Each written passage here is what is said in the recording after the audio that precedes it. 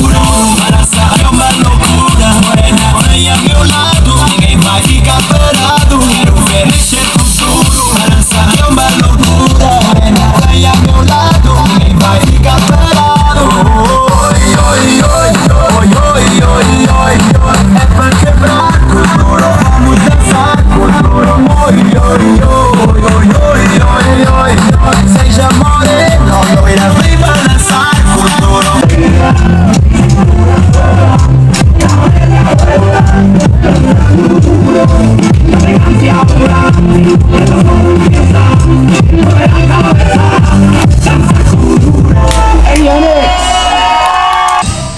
name's Aaron Pearlman, your morning weather forecaster.